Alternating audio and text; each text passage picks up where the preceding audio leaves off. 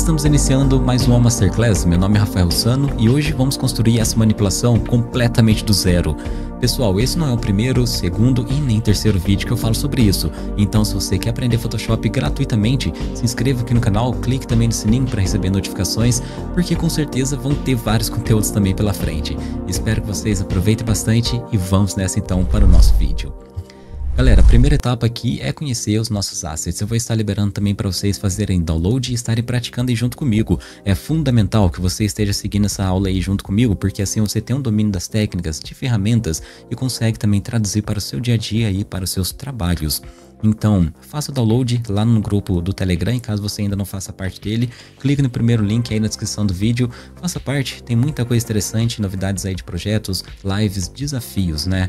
Mas vamos conhecer então aqui os nossos assets. Eu tenho primeiro aqui algumas pessoas, coloquei aqui no grupo Poiple, mas eu tenho essas pessoas aqui que é um asset muito pequenininho, mas ele é extremamente importante, porque assim a gente tem então toda a dimensão do nosso cenário, a gente consegue observar através de uma referência humana, né, que eles estavam em um deserto tão muito grande que aquele portal ele era algo extremamente gigantesco. Então, por mais que sejam pequenos, eu acho muito importante esse asset.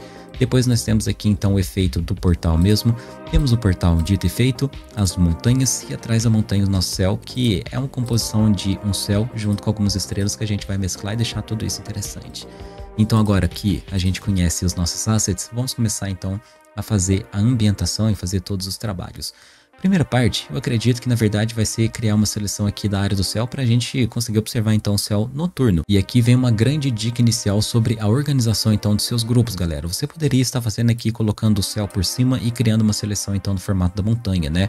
Só que a organização que é correta mesmo é que a gente faça da, do jeito que a gente observa as coisas, né? E o céu, por exemplo, ele vai ser sempre o mais atrás possível, sempre vai ser o background. Então é mais correto ainda que eu deixe ele por trás, depois a montanha e depois os elementos que a gente for trabalhar. E a gente vai criar então a seleção pela nossa montanha mesmo. Aqui, não importa a técnica que você utilize, o mais ideal é que seja pela Pen Tool, mas eu vou fazer aí de uma forma bem simples mesmo com o Magic Wand Tool, como a gente tem uma cor muito parecida aqui por toda essa parte do céu, então não vai ter grande problema. Eu só vou querer também expandir um pixel dessa seleção para que não tenha nenhum tipo de vestígio mesmo aí do meu céu. Então para isso eu entro aqui em Select, em Modify e Expand. A gente configura quantos pixels que a gente deseja, que no caso quero colocar somente um mesmo, dou um Enter, e agora sim eu posso criar uma máscara invertida segurando o Alt no teclado.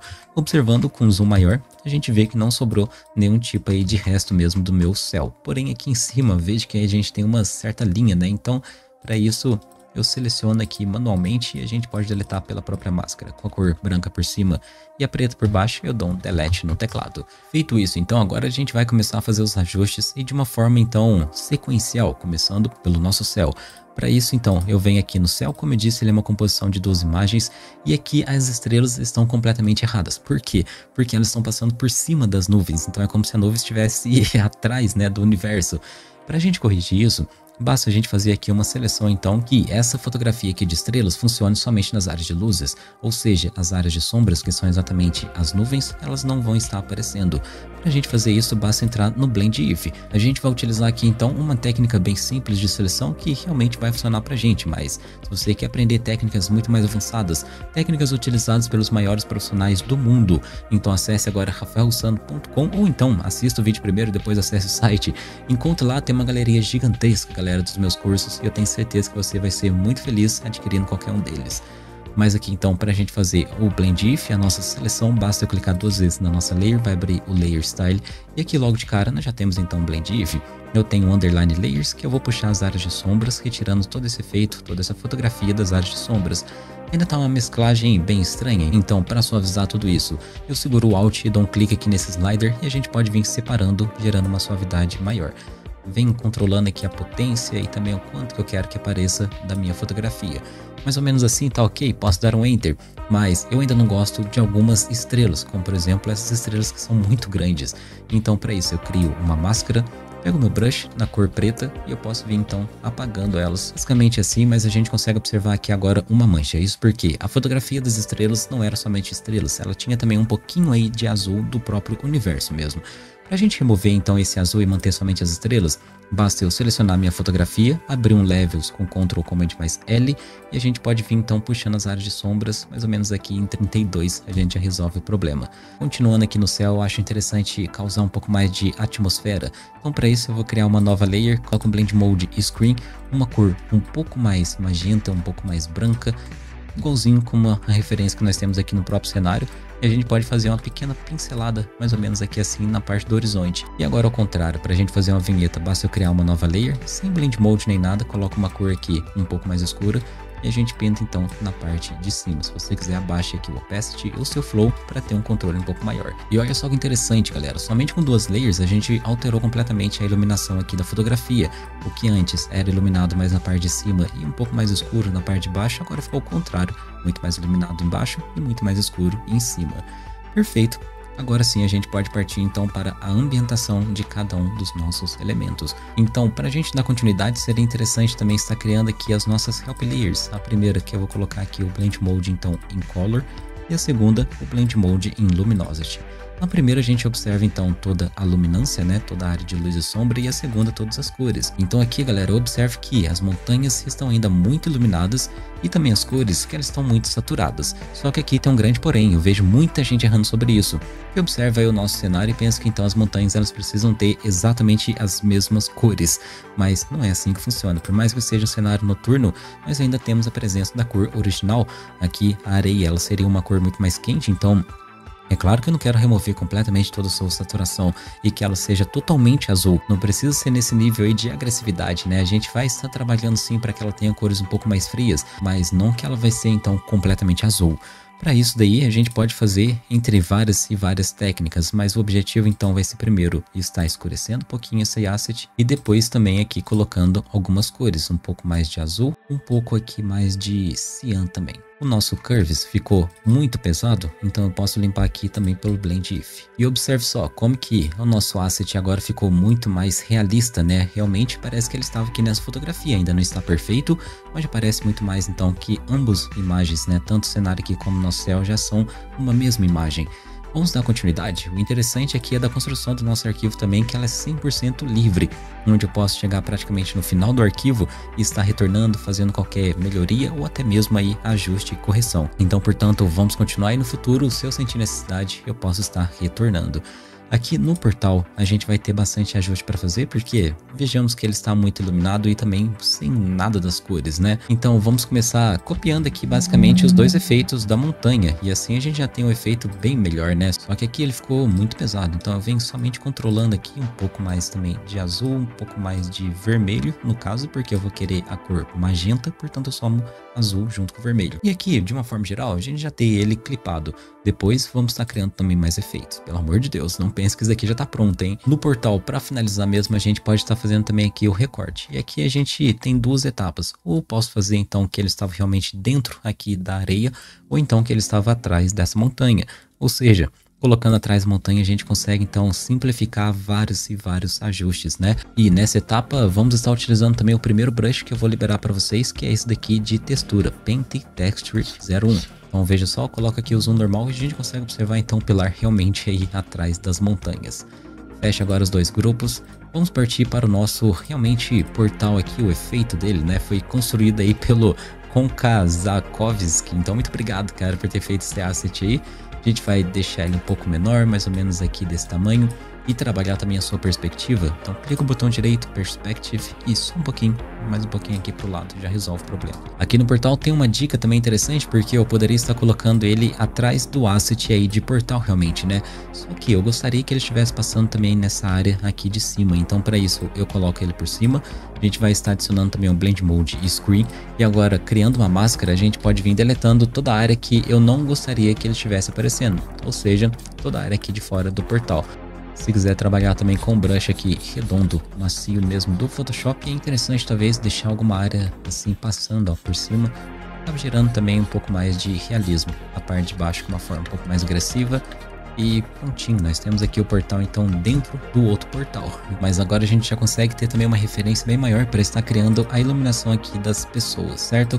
Isso daqui vai ser bem simples, porque eu vou criar só uma nova layer, vou clipar ela junto com as pessoas aqui mesmo, e com uma cor mais escura e também um pouco mais magenta, a gente faz uma simples pincelada aqui assim com o brush mesmo. Porém, como na parte da frente, né, desses personagens estarem recebendo a luz então do nosso portal, em vez de criar um efeito que vai estar causando luz, eu prefiro então estar deletando desse que a gente acabou escurecendo. Portanto, eu crio uma máscara, pego aqui o meu brush na cor preta, bem pequenininho, e a gente vem deletando então toda essa parte da frente dos personagens. Então veja só o antes e depois, como que um ajuste bem simples, mas que traz totalmente o realismo, né?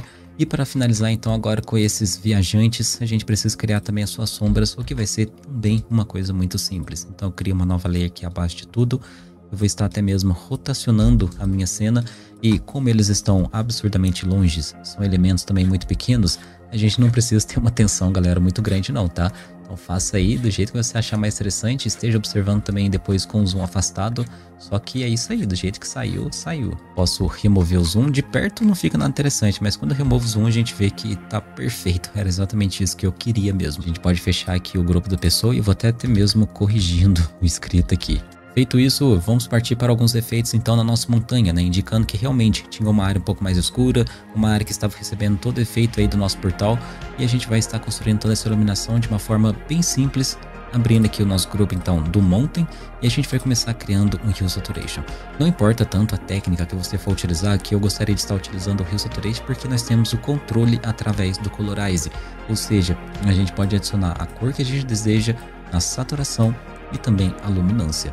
Aqui ele ainda está aplicando por toda a minha fotografia aí da montanha, né? Então, portanto, a gente vai abrir o Plane Diff e retirando ele das áreas de sombras.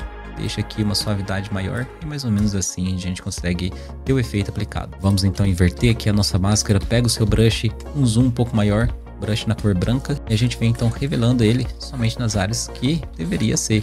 Qual seriam essas áreas que deveria ter essa cor aqui? As áreas que estiverem viradas para frente, né? Então, por exemplo, essa montanha, eu não posso fazer nisso tudo. Eu tenho que vir deletando depois nessa parte aqui de cima. Eu acho legal trazer um pouco mais aqui perto do câmera, só que não tanta potência, porque agora a gente vai estar duplicando esse Hue Saturation e ampliando cada vez mais então a potência das nossas cores. Como eu disse, aqui perto do câmera vai ser um pouco mais fraco, então eu aproveito até mesmo aquela mesma pincelada que eu fiz antes só que agora eu vou estar deletando né, algumas partes para que seja mais forte perto do portal. Vamos duplicar de novo esse Hue Saturation, porém agora a gente vai trabalhar aqui com a luminância, deixando ela um pouco mais potente. E aqui eu vou estar observando então todos os contornos dessas dunas. Então a gente cria aqui uma máscara invertida, pega o brush de novo aquele com texturas e a gente pode estar fazendo então exatamente o ajuste dessa forma. Observando aqui todos os contornos das dunas, a gente pode vir ó, passando de uma forma bem suave mesmo. E esse é um processo um pouco mais demorado, né? Porque a natureza ela é composta por toda essa diversidade, né? Então Tome um tempo um pouco maior, tenha aí a paciência que você consegue completar todas essas áreas. Finalizando, você vai ter algo um pouco parecido com o meu, mas eu espero que na verdade muito melhor. Mas a gente ainda pode corrigir colocando agora o brush aqui no soft mesmo. A cor preta, vamos apagando então de algumas áreas que, por exemplo, eu gostaria de mais cores, somente a iluminação e não a textura, né, que vem através do nosso brush. Então, a gente vai fazendo ajustes aqui, ó, bem tranquilos das áreas que ficaram um pouco mais pesadas, um pouco mais fortes. E você vai tendo controle, então, de como realmente ele deveria ser. Feita aqui, então, a montanha, a gente pode continuar para o nosso portal. Aqui eu consigo observar agora que tem várias coisas para a gente fazer nele. Primeira delas é que não tem nenhuma interferência nessa parte de dentro, que tinha um objeto extremamente luminoso como um portal intergaláctico, né? Então, para a gente fazer esse efeito aí mais luminoso, vamos colocar aqui um Hue Saturation Colorize na cor que, opa, na cor que magenta, bem mais iluminado. E se você quiser também colocar o Blend Mode Screen para trabalhar realmente com as áreas de luzes. Inverta minha máscara e a gente vem então revelando todo esse efeito somente aqui na parte de dentro do portal. O próprio portal ele também pode ser de uma outra cor, então coloca um outro Color Balance. Em vez de estar modificando aquele que a gente fez anteriormente, cara, Color Balance, ferramentas nativas do Photoshop não vão pesar mais ou menos no arquivo, então eu prefiro muito mais ter o controle aqui e estar criando vários e vários deles. Aqui, por cima de tudo, também vou criar uma nova layer, vou selecionar o meu próprio portal e a gente vai fazer uma pintura aqui realmente manual.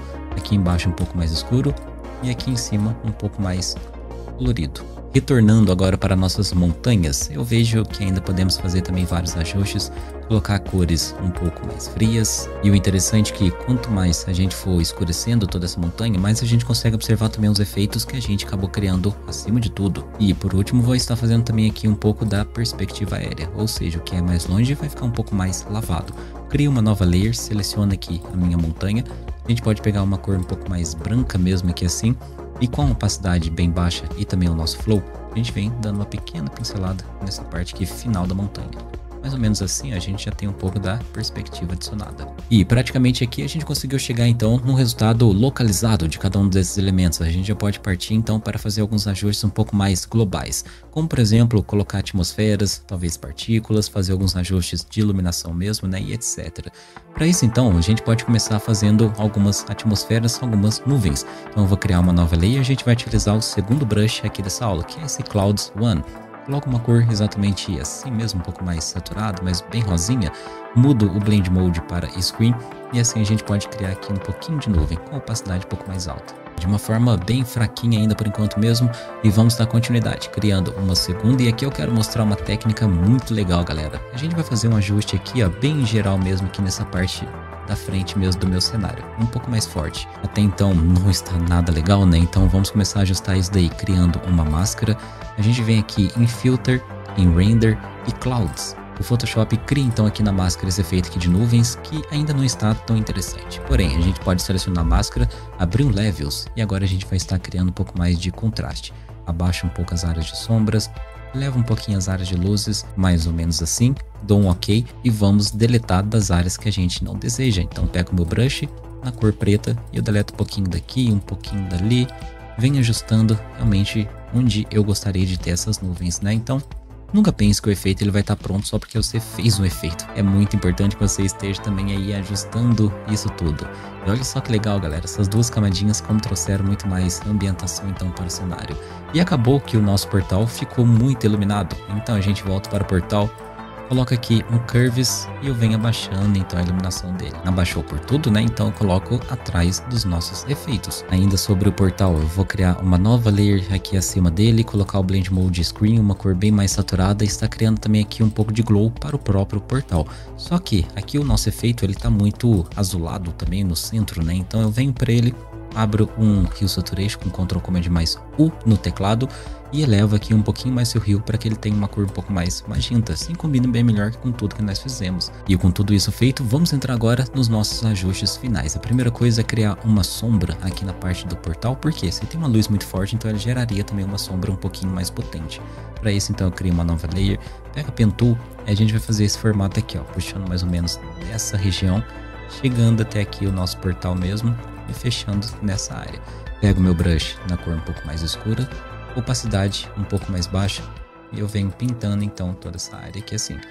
Faço a mesma coisa para o outro lado. Ele está 100% duro, portanto eu venho Filter, Blur, Gaussian Blur, coloco aqui 8.2, perfeito. Venho mesclando ele também com Blend If, a gente pode vir retirando aqui das áreas de sombras e deletando também um pouquinho, ficou muito forte. Então coloco a opacidade aqui em 50% e a gente já consegue, é o famoso 50%. Tudo que você coloca 50% no Photoshop vai dar certo. E por fim, então, vamos entrar nos ajustes finais mesmo, abrindo uma nova layer com Ctrl Shift Alt E no teclado. Eu vou estar convertendo ela para Smart Object e vamos fazer o um ajuste final aqui no nosso Camera Raw Filter. Aqui no Basic, vou colocar um contraste um pouco maior, um Clarity um pouco maior, elevar também um pouco meus shadows e um pouquinho também aqui dos meus blacks para que não tenha problema nas áreas mais escuras. Feito isso, basicamente só isso mesmo. Eu não gosto de fazer muitos ajustes aqui nessa parte a gente já tem uma imagem bem mais contrastada e aqui a gente consegue então finalizar mais uma aula, galera. É muito importante perceber aqui o quanto que não precisa estar adicionando vários e vários assets. Para a gente fazer uma ideia realmente interessante, basta a gente ter a ideia pronta aí que a gente consiga então compreender como resolver todos os seus problemas, né? E eu acho que esse é o grande objetivo nosso de conseguir criar então uma cena que todo mundo vai conseguir praticar junto comigo. Galera, eu agradeço e muito a sua presença, principalmente se você deixou aí o seu apoio, o seu like e também o seu comentário. Não se esqueça, visite aí também rafaelrussano.com, garante suas vagas né, no curso que achar mais interessante para sua carreira. Mas muito obrigado por ter assistido e a gente se encontra então no próximo vídeo.